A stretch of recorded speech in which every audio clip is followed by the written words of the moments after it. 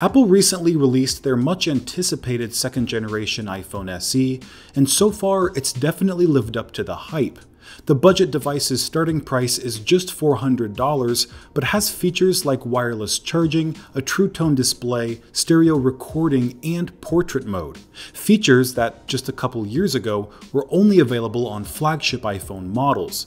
But the new SE doesn't only have features from older iPhones, it also shares the same A13 Bionic chipset as the current flagship iPhone 11 Pro, which sells for $1,000.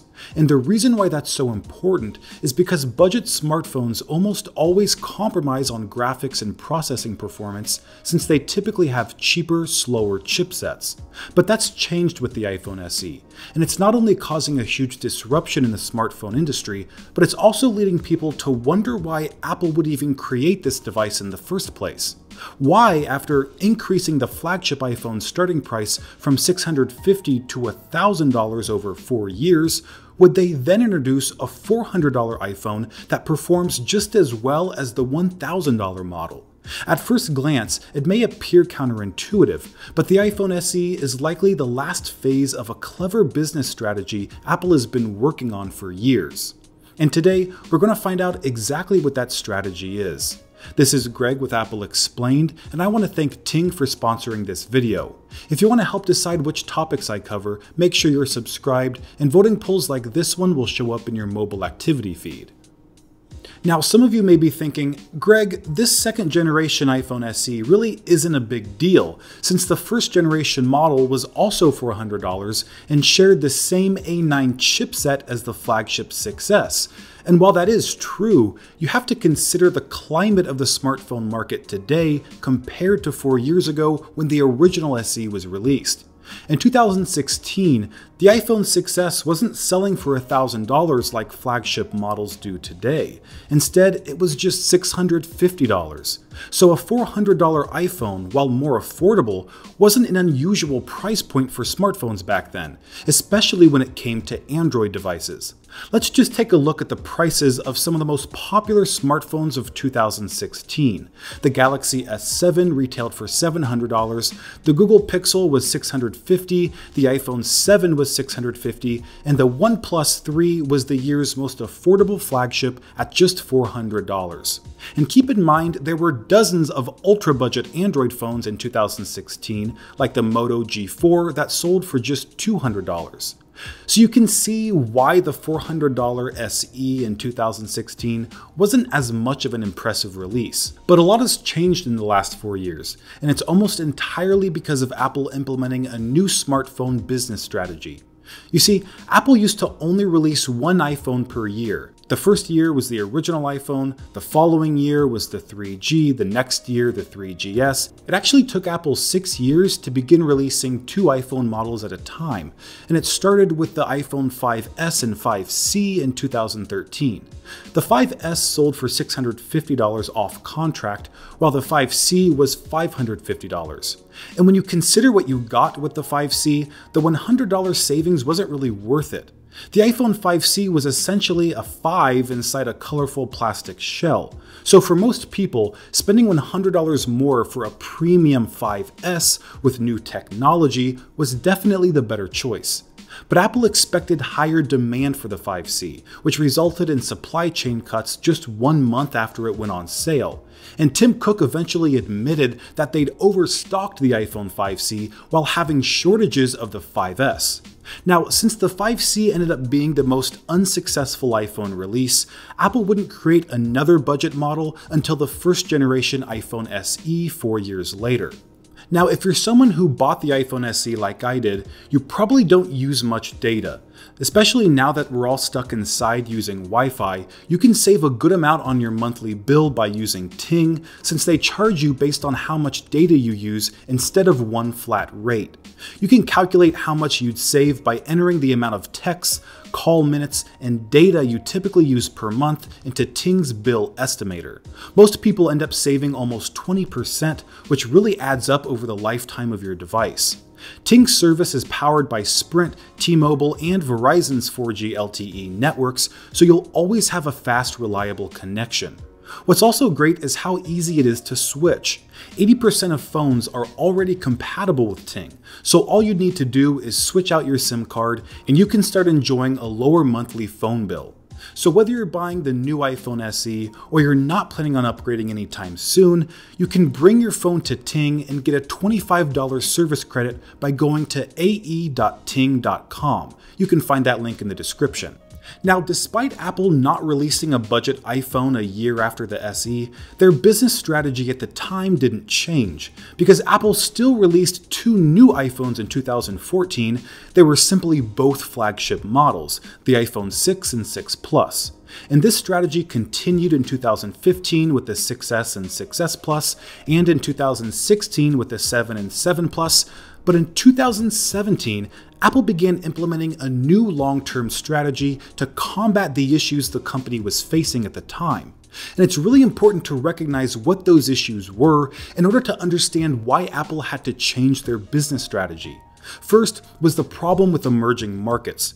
Tim Cook invested heavily in China and India back in 2015 to try and combat smartphone market saturation that would eventually lead to slowing hardware sales. Cook figured out that if Apple could capitalize on the untapped market potential of China and India, then growing iPhone sales in those countries could offset or even exceed the slowing sales elsewhere.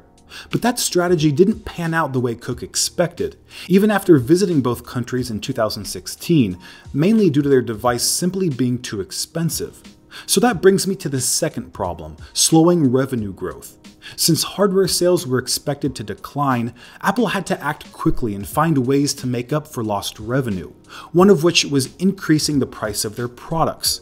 If Apple could make more money from each iPhone sale, then they could still achieve revenue growth even if sales began to decline. Another way to make money is by introducing services that users pay to access, for example, Apple Music, Apple Arcade, Apple News Plus, and Apple TV Plus. So, considering those problems and potential solutions, Apple crafted a new business strategy to not only continue making money, but to force their competition into a corner. They recognize that Apple users are already accustomed to paying a premium for their products, and they're unlikely to switch to competing platforms like Android since they're already so deep in Apple's ecosystem. So, with this unique advantage, Apple made the decision to raise the iPhone's price to $1,000 in 2017 with the release of the iPhone 10. That was a $350 increase over the previous year's iPhone 7. But what's even more interesting is how this strategy affected the competition. Remember earlier in the video when I covered the prices of popular Android phones in 2016? Well, when Apple raised the price of their phones, that essentially gave the competition permission to do exactly the same thing. And in just a couple years, the OnePlus went from $400 in 2016 to $700 in 2020. The Google Pixel went from 650 in 2016 to $800 in 2019. And the Samsung Galaxy S went from $710 in 2016 to 1,000 in 2020.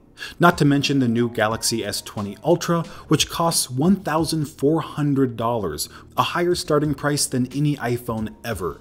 And while those companies are enjoying higher profit margins, they walked right into the trap Apple set back in 2017.